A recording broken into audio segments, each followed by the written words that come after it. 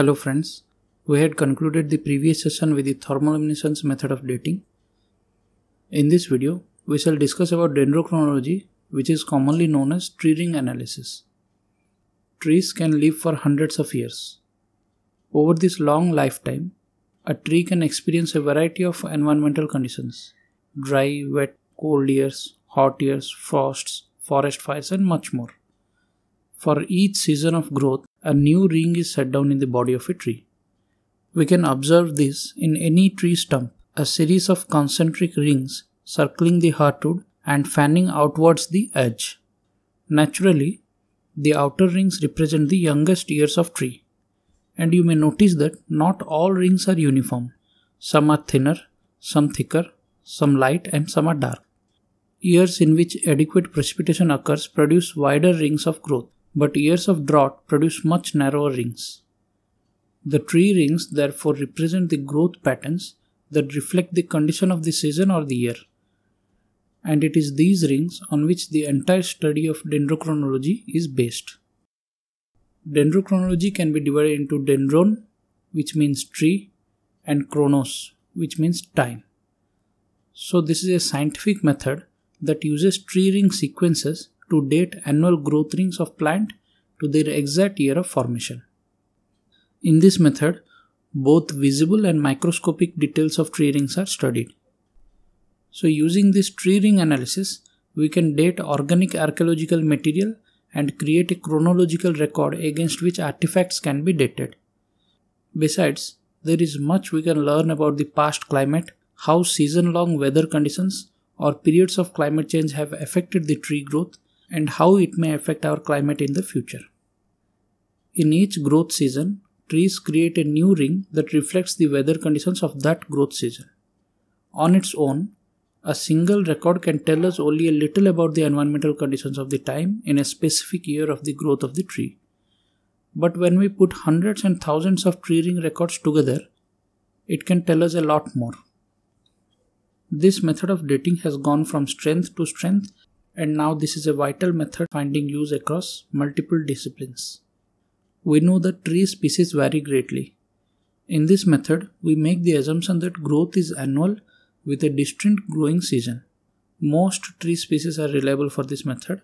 For example, oak is the most reliable tree type for tree rings with not a single known case of missing annual growth ring.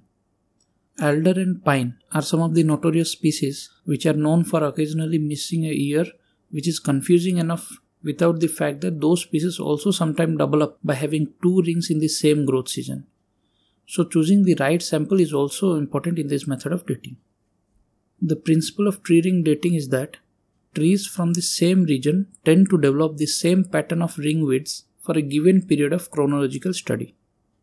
Researchers can compare and match these patterns ring for ring with patterns from trees which have grown at the same time in the same geographical zone. When one can match these tree ring patterns across successive trees in the same locale in overlapping fashion, chronologies can be built up both for the entire geographical regions and for subregions as well. Moreover, wood from the ancient structures with known chronologies can be matched to the tree ring data and the age of the wood can thereby be determined precisely. This process of comparison is known as cross dating. Dendrochronologists originally carried out cross dating by visual inspection. More recently, they have harnessed computers to do the task. These computers apply statistical techniques to assess the matching. Now, this diagram here shows how the annual growth rings can be counted, matched, and overlapped to build up a master sequence. Let us say we have three tree samples X, Y, and Z. Also, let us assume that X is a modern living tree, the youngest of the three, and Z is the archaeological wood sample whose age is to be determined. What we do is we compare the annual tree rings of the three samples. We find that at point A, the ring pattern of the modern wood, which is shown as a good year, this matches with the point B of relatively older wood sample Y. Similarly, at point C, the ring pattern of Y matches with the outer ring of the sample Z. So in this process of overlapping, we have built up a long master sequence. Now how to calculate the age of a tree sample?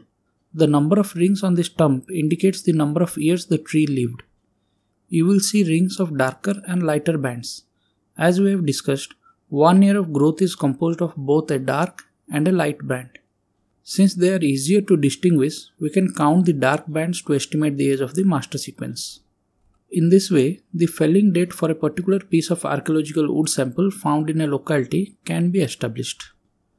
Now, what are some of the limiting factors of this technique? Unlike radiocarbon dating, dendrochronology is not a global dating method due to these two basic limitations. It applies only to trees in regions outside the tropics where pronounced differences between the seasons produce clearly defined annual rings.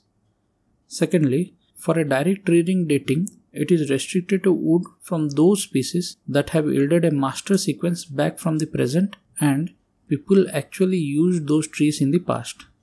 Despite these qualifications, dendrochronology has become the major dating technique alongside the radiocarbon dating for the trees found in temperate and arid lands. So this is it for today. Hope you found this video informative. Thanks for watching. Let me know your thoughts in the comment section below.